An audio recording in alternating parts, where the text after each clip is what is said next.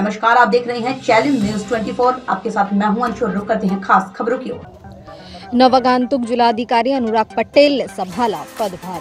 आज नवगांतुक जिलाधिकारी अनुराग पटेल कोषागार पहुंचकर संभाला अपना पदभार, वहीं रूटीन निरीक्षण के दौरान विभागों के कार्यालयों का निरीक्षण करते समय जिलाधिकारी अनुराग पटेल द्वारा साफ़ सफ़ाई रखने हेतु निर्देशित किया गया।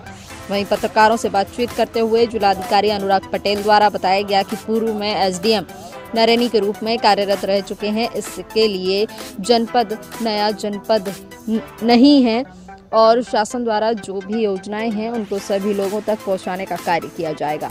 वहीं इस मौके पर सभी प्रशासनिक अधिकारियों सहित कई समाज सेवी व पत्रकार बंधु मौके पर मौजूद रहे। सभी अधिकारी, नवगांतुक जिलाधिकारी को गुलदस्ता व प्रतीक चिन्ह भेंट कर सभी ने जनपद में पुनः आगमन पर नवगांतुक जिलाधिकारी को बधाई दी है। क्या आपने निरीक्षण किया ऑफिसों का? क्या नहीं दौरा नहीं है मेरा आज ज्वाइनिंग है। शासन के निर्देश के अनुसार मुझे यहाँ जिलाधिकारी के रूप में पोस्ट किया गया है।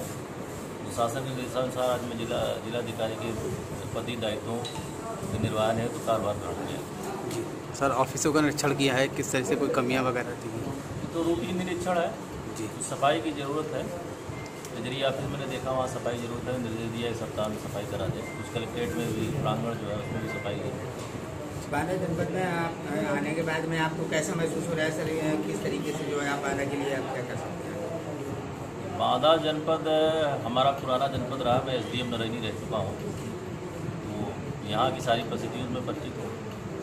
और जो शासन के नी, नियम है शासन की नीति है उसके अनुसार जो भी शासन की नीतियाँ हैं उसका अनुपालन कराया जाएगा। और चूँकि पिछड़ा जनपद है तो कोशिश की जाएगी कि विकास को भी गति मिले।